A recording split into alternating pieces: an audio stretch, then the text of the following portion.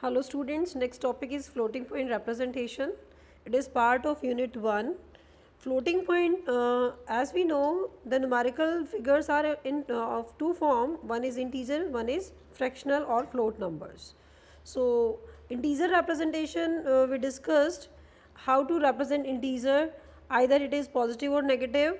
Uh, at that part we discussed in the uh, chapter 2 and next one is floating point representation how we represent float numbers in the computer memory. So we will discuss uh, two methods here. We often uh, face floating point programming. Floating point greatly simplify working with the large numbers. Means whenever we have floating point as we are doing uh, programming and programming deals with some scientific data. So it is not necessary always we face integers values so, uh, whenever we write some program the teacher advise you to use float variables so that whenever we encounter any floating point uh, variable the program can be executed easily. So, here uh, the numbers we are given here 2 raised to power 17, 2 raised to power minus 17. It means how we can represent these type of numbers. Next is uh, we will focus on the IEEE format. Students, uh, this topic is not given good in your book. So, you have to refer these PDF only and uh, one question surely asked in final exams that is flo floating point representation and here we are discussing here IEEE format that is standard format for floating point arithmetic. So, in our syllabus arithmetic is not uh, there it means addition multiplication of float numbers are not a part of syllabus but uh, we have to understand how to represent float numbers on the uh, memory part. So, how floating point numbers are represented uh, represented limitation of uh, floating point numbers और ये F P जो addition और multiplication है, ये हमें discuss नहीं करना। तो हमें सिंपली सिर्फ़ रिप्रेजेंटेशन पार्ट ही कवर करना है। Next one is what we have in floating point representation first of all I triple E number are stored using a kind of scientific notation that is mantissa and exponent first thing what is mantissa what is exponent we will understand each and every part first thing what is first one is the number fractional number may be sign uh, having some sign either minus or plus. If there is minus the sign will be represented in the IEEE format. Mantissa that is part, the fractional part and exponent part that is 2 raised to power. As we are representing here binary number binary fractional number so the power will be 2 raised to power not 10 raised to power so, we can represent floating point number with three field one is sign sign bit second is exponent bit uh, exponent field and a fractional field f अभी हमें सिर्फ़ यही समझना है तीन तरह की आपके sections रहेंगे one is sign one is that is exponent one is field this uh, sorry fractional number या हम इसको मेंटीसा भी बोलते हैं कई बार कुछ जिसे ऑथर एमेंटीसा भी रेफर करते हैं तो जो मेंटीसा पार्ट है वो यहाँ एफ़ में आएगा बट यहाँ एफ़ क्यों लिखा है? या मेल्टीसा क्यों नहीं लिखा? वो भी आगे हम आपको डिटेल क्लियर करेंगे। I triple E standard defined several different precisions precisions means the size जैसे आप वहाँ पर करते हैं सी लैंग्वेज में। फ्लोट फोर बाइट्स ऑक्यूपाई करेगा और डबल क्या लेता है?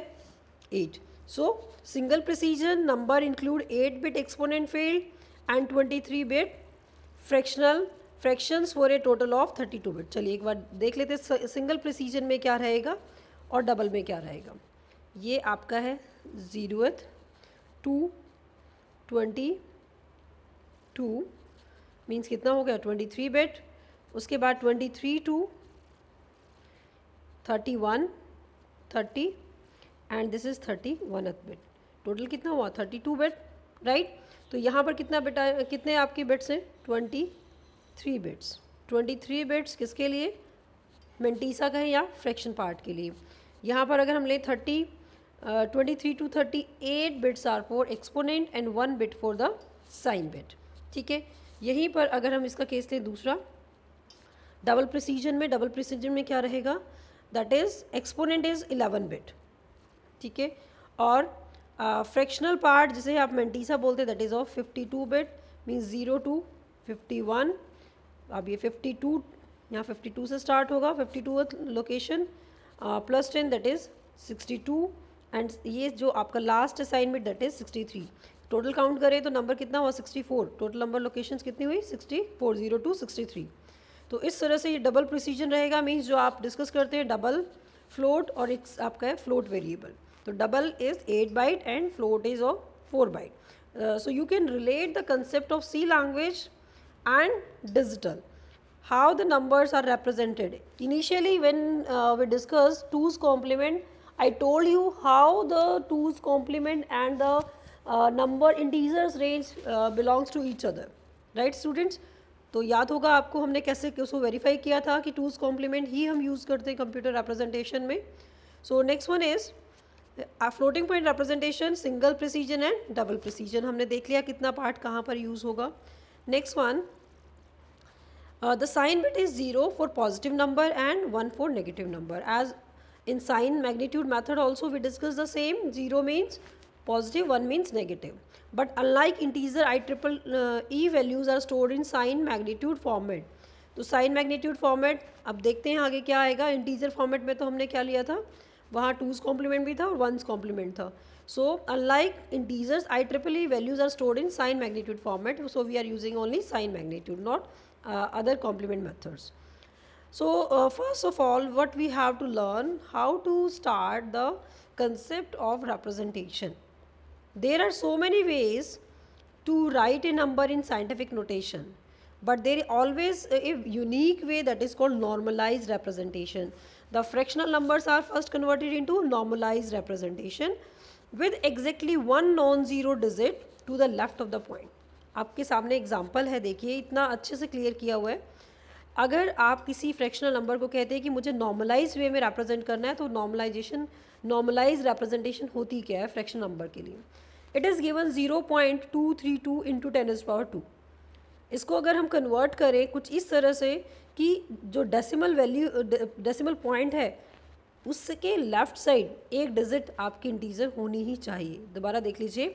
नॉर्मलाइज का मीनिंग है कि zero point two three two है। इसको आप इस तरह से मूव कीजिए, शिफ्ट कीजिए डेसिमल को बाय इंक्रीजिंग और decreasing the power of ten कि डेसिमल के लेफ़्ट साइड, डेसिमल के लेफ़्ट साइड एक इंटीजर डिजिट होनी चाहिए। डेसिमल के लेफ़्ट साइड एक इंटीजर डिजिट होनी चाहिए। तो हमने क्या किया? 2.32 करेंगे 2.32 मीन्स यहाँ पर 10 की वैल्यू क्या हो जाएगी?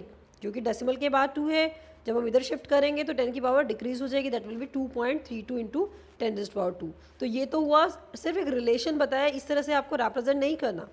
रिप्रेजेंटेशन हमारी टोटली डिफरेंट रहेगी। ये सिर्फ़ एक नॉर्मलाइज का एग्ज़ाम्पल है कि अगर हम डेसिमल फॉर्मेट में नॉर्मलाइज करेंगे तो इसको नॉर्मलाइज फॉर्मेट बोलते हैं। अब हमें करना है बाइंड्री को नॉर्मलाइज्ड ठीक है? ये हमें डेसिमल को नॉर्मलाइज नहीं करना। डेसिमल को हमें पहले इंटीजर में सॉरी बाइंड्री में कैलकुलेट करना है फिर उसको नॉर्मलाइज करना है। तो स्टूडेंट यहाँ से नॉर्मलाइजेशन से काम नहीं चलेगा this is only for the understanding concept अब ये सेकेंड पार्ट है यहाँ से हमारी uh, जो कंसेप्ट है वो स्टार्ट होता है कि अगर आपको नंबर गिवन है zero one double zero one तो आपको इस तरह से देखिए ये तो बिल्कुल इंटीजर वैल्यू है लेकिन हम uh, यहाँ पर रिप्रेजेंट क्या कर रहे हैं? Float point floating point format में मीन्स कई बार आप इंटीजर वैल्यू पास करते हो, लेकिन वेरिएबल आपने फ्लोट लिया तो वो कैसे स्टोर होगा, वो आप देख सकते हैं अब zero one double zero one तो इसको हमने लिया, और इस तरह से इसको कन्वर्ट किया कि ये जो डेसिमल है डेसिमल के लेफ़्ट साइड एक डिजिट रहे that is one point zero zero one अब यहाँ पर तो हमने ज़बरदस्ती पॉइंट ले बनाए तो अगर यही काम हम डेसिमल में करते तो क्या करते, यहाँ टेन डिस्ट पावर थ्री करते यही होता अगर आपको समझ ना आया हो अभी भी just relate with the decimal number system decimal number system में है वन थाउज़ेंड वन इसको आप कन्वर्ट करना चाहते हैं one point zero zero one तो क्या करेंगे? इंटू टेन पर थ्री करेंगे तो as we have the number is binary number system तो यहाँ पर क्या हो जाएगा? जैसे ही कोई डेसिमल इधर उधर शिफ्ट होता है तो टू रेज टू पावर में ही चेंज आएगा. क्लियर है स्टूडेंट तो आप खुद देख लीजिए यहाँ one one zero zero one into two raised power three minus three बनेगा into two raised power three तो आंसर वही आ जाना है। तो अगर किसी को ये यहाँ पर डाउट है तो पूछ सकते हैं आप।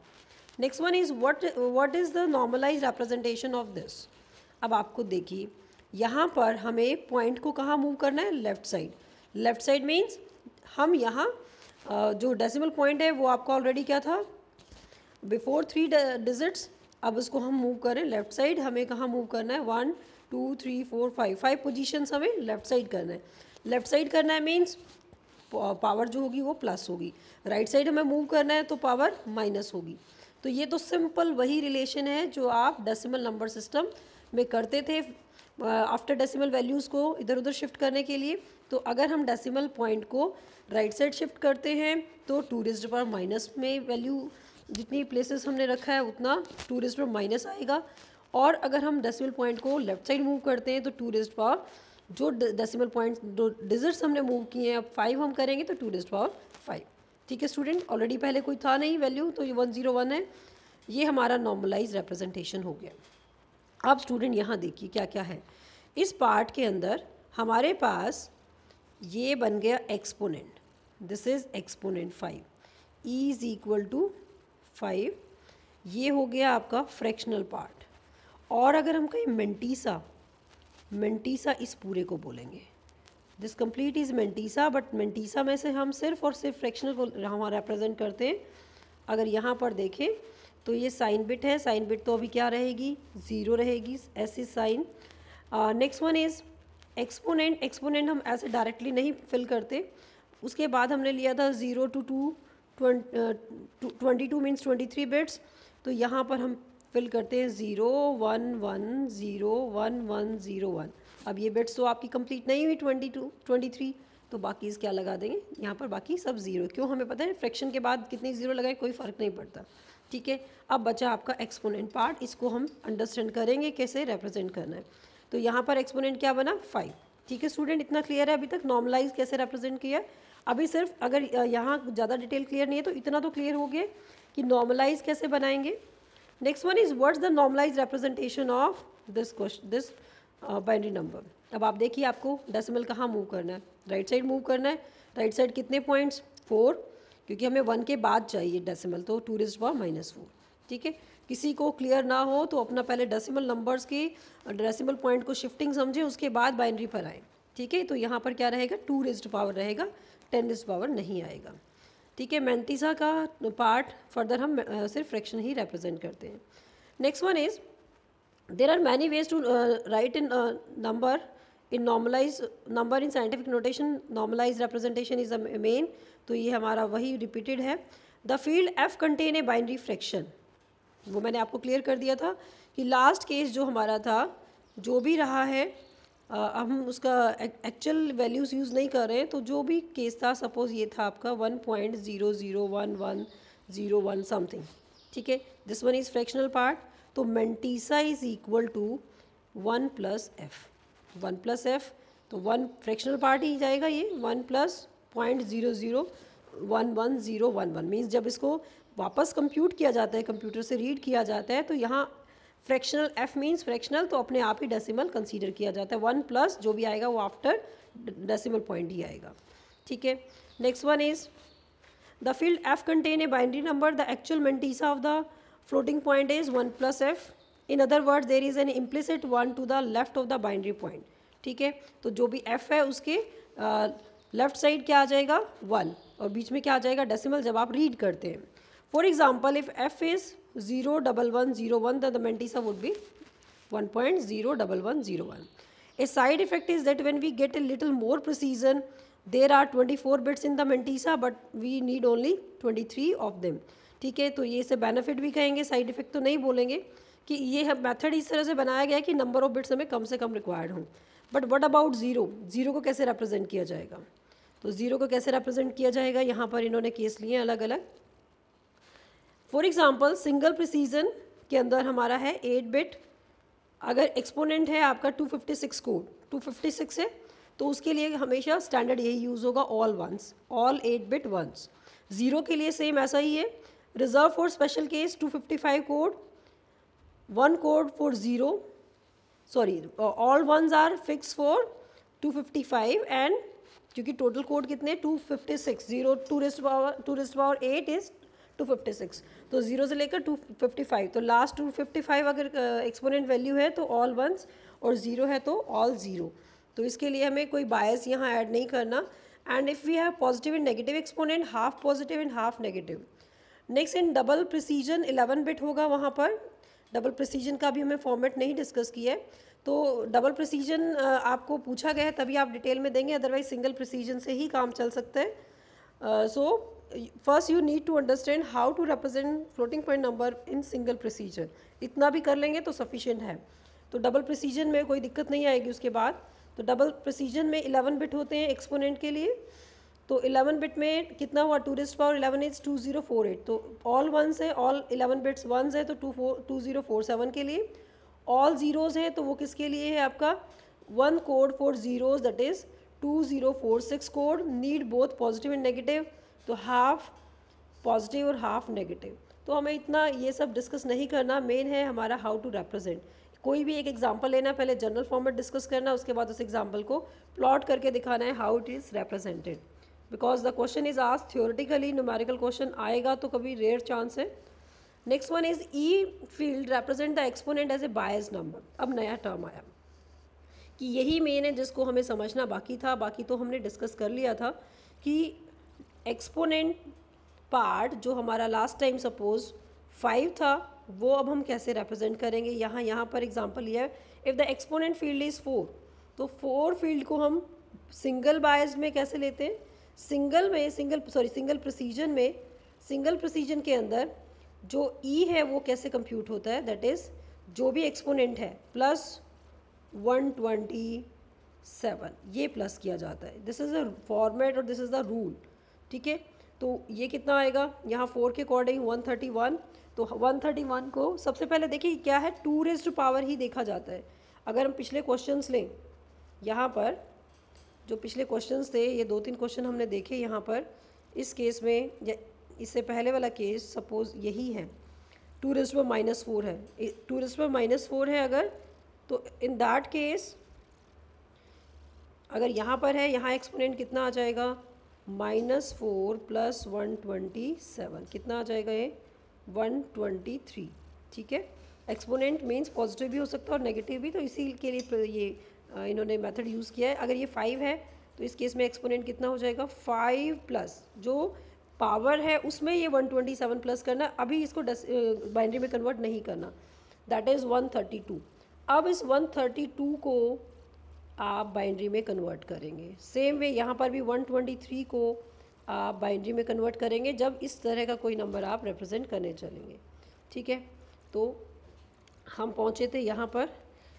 नेक्स्ट, पहले इसको देख लेते हैं। It contains the actual exponent plus one twenty seven for the single precision और actual exponent plus one zero two three in double precision means exponent part अगर टू रेस्ट पावर सेवन है तो two raised power seven seven का code नहीं लिखेंगे यहाँ पर eight bit में। एट बिट में सेवन का कोड नहीं आएगा, क्या आएगा? Seven plus one twenty seven means one thirty four तो वन थर्टी फोर को हम कन्वर्ट करेंगे बाइंड्री में और बाइंड्री कोड जो भी आएगा वो आपका एट बिट का ही आएगा, वो इसमें प्लेस किया जाएगा। ठीक है? अगर वो रेंज बाहर चली जाती है एट बिट से ज़्यादा तो वो डबल प्रोसीजन में ही आप सेव कर सकते हैं। Two example with single precision numbers are shown below तो दोनों आपके सामने हैं, यहाँ पर फ़र्स्ट केस लिया जिसमें नुमारिक टू पर फोर गिवन है। दूसरा है कि आपको एक एक्सपोनेंट गिवन है। एक्सपोनेंट गिवन है मीन्स कोई वैल्यू गिवन थी यहाँ पर। ऑलरेडी स्टोर था zero one zero one one one zero one ठीक है? यही हम वैल्यू लेकर चल रहे हैं। इसको जब डेसिमल में रिप्रेजेंट किया तो ये आया नाइन्टी थ्री अब ये कहते हैं क्या नाइन्टी थ्री मीन्स ये किस टाइम की बात कर रहे हैं? जब आप मेमोरी से रीड कर रहे हैं। क्या नाइन्टी थ्री ही एक्सपोनेंट है? No exponent is equal to ninety three minus पिछली बार जब स्टोर किया था तो क्या किया था? वन ट्वेंटी सेवन प्लस किया था। लेकिन जब रीड करेंगे राइटिंग के टाइम पर हमने प्लस किया तो रीडिंग के टाइम पर मेमोरी से रीड कर रहे हैं तो क्या आएगा? माइनस करेंगे। तो ये नंबर कितना आ जाएगा? Minus thirty four it means two raised power minus thirty four और जो फ्रैक्शनल पार्ट है सपोज़ साइन साइन बिट मान लेते हैं, यहाँ पर वन है, इसका मतलब नेगेटिव नंबर है। और ये फ्रैक्शनल पार्ट है suppose one zero zero zero and all zeros तो ये आ जाएगा one point one zero zero zero आप कितनी मर्ज़ी ज़ीरो लगाइए। ये कितना है आपका? ये ट्वेंटी थ्री बिट्स हैं टोटल मिलाकर। तो ये आपका फ्रैक्शनल पार्ट क्या रख रख दिया जाता है? वन पॉइंट पॉइंट के बाद ये फ्रैक्शनल पार्ट आ जाएगा। एक्सपोनेंट पार्ट को आप क्या लेते हैं? जो भी एक्सपोनेंट में उसमें डेसिमल में कन्वर्ट किया और डेसिमल में कन्वर्ट करने करने के बाद इसको 127 में decimal part is subtracted by 127 तो जो नंबर आपको मिलेगा वो आपका एक्सपोनेंट पार्ट होगा। So storing a biased number means we can compare IEEE values as if we, uh, they are signed integers. तो यहाँ पर mapping between actual exponent and जो वैल्यू ई e है उसमें देखिए। अभी इन्होंने बहुत अच्छे से एक्सप्लेन किया है। पहले भी हमने लिया था डिस्कस किया था एक्सपोनेंट कि एक्सपोनेंट ऑल ज़ीरोज़ ये एट बिट हैं। एट बिट ऑल ज़ीरोज़ किसके लिए हैं? ज़ीरो के लिए। ठीक है, ऑल वंस किसके लिए हैं? दिस इज़ वो टू फाइव फाइव अगर exponent value two five five है या एक्सपोनेंट वैल्यू ज़ीरो है तो ये दो फिक्स है, इसमें सब्ट्रैक्ट एडिशन कुछ भी नहीं करना। ठीक है, डायरेक्ट आएगा। नेक्स्ट देखिए इस नंबर के लिए।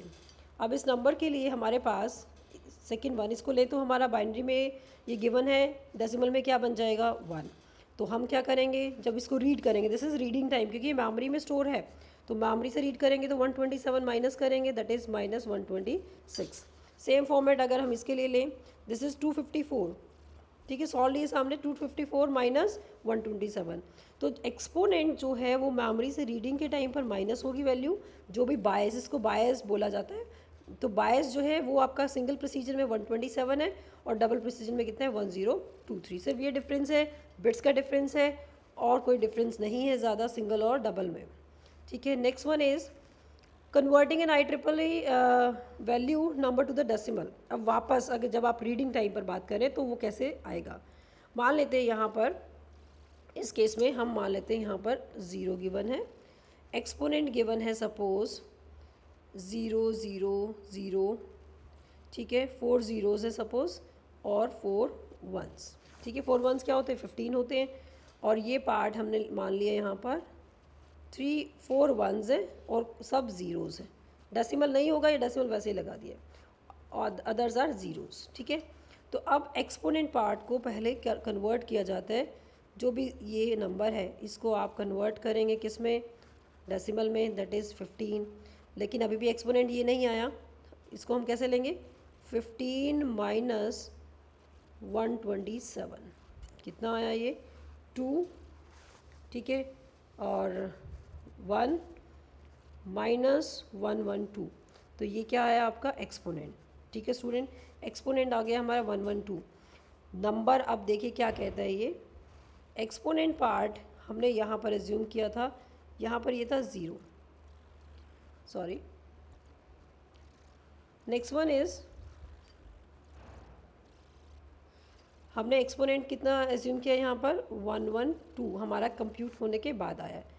ऐसा हमने क्या एज्यूम किया है? ज़ीरो अब ये कहते हैं कि ये फॉर्मूला है जिसके थ्रू आप नंबर को रीड करेंगे. That is one minus two S into one plus F into two raise to power E minus bias बिल्कुल सिंपल फार्मूला कोई इसमें दिक्कत नहीं है. अब देखिए one minus two S two S मतलब साइन बिट अगर ये ज़ीरो है ज़ीरो है तो क्या होगा? ये नंबर पूरा ज़ीरो बन गया. तो ये क्या हुआ? वन वन का मीनिंग क्या होता है यहाँ पर? अब साइन बिट क्या है? ज़ीरो तो वन का मतलब वन मल्टीप्लाई हो जाएगा. Let this number is one here means sign bit one है. साइन बिट वन होने का मतलब क्या होगा? That is one minus two answer कितना आया? माइनस वन और माइनस वन को किसी के साथ भी मल्टीप्लाई करोगे तो वो नंबर माइनस बन जाएगा. सिंपल ठीक है? अगर ज़ीरो था तो यहाँ ज़ीरो आया और आंसर हमारा वन आया. वन को मल्टीप्लाई करेंगे तो एज इट इज़ रहेगा. और अगर यहाँ वन है तो वन का मीनिंग है ये minus two minus two then one minus two is minus one और माइनस वन और ये पूरा प्रोडक्ट जो मल्टीप्लाई करेंगे तो नंबर जो जो आपका नंबर आएगा, वो नेगेटिव आ जाएगा। अब नेक्स्ट है, हमने ये तो फाइंड आउट कर लिया कि साइन क्या है। Multiplied by one plus F अब यहाँ पर हमने चार वन माने थे और बाकी सब ज़ीरोज़ तो इसका मतलब कितना हुआ? एक तो ये नंबर पॉजिटिव मिला हमें, ठीक है? दूसरा वन पॉइंट वन प्लस कितना है? F one plus F F जब भी प्लस करेंगे तो इट इज़ अज्यूम कि यहाँ ये फ्रैक्शनल पार्ट है तो ये इस तरह से रिप्रेजेंट किया जाएगा और ज़ीरोज़ जो आप मर्ज़ी लगा लीजिए। Into two raise to power E कितना था? ई e हमारा फिफ्टीन था fifteen minus one twenty seven वो हम पहले कंप्यूट कर चुके हैं तो हमारा नंबर बना one point one one one one बाकी ज़ीरोज़ नहीं लिख रहे हैं। Into two raise to power minus one one so this is the way how to compute the decimal number compute the fractional number uh, from the binary format given by IEEE.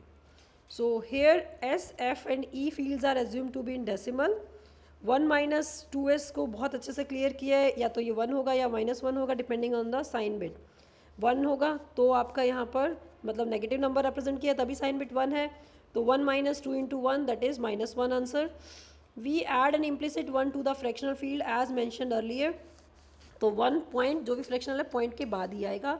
Again the bias is either one twenty seven और one one zero two three in the double precision so next one is us find the decimal value of the following ठीक है? सबसे पहले तो आप एक बार खुद देखिए क्या है यहाँ पर कंसेप्ट अब यहाँ पर इन, इन्होंने अलग अलग चीज़ें क्लियर करके दी हैं हमें. First this is sign bit ठीक है? हमें नहीं पता पॉजिटिव या नेगेटिव क्या है। हमें ये पता था one minus two into S ठीक है? क्या आया ये? One minus two into one that is number is negative first thing minus one आया तो जो नंबर आएगा उसमें मल्टीप्लाई हो जाएगा। Next one this is exponent exponent part अब कंप्यूट किया तो वन ट्वेंटी फोर आया। अब वन ट्वेंटी फोर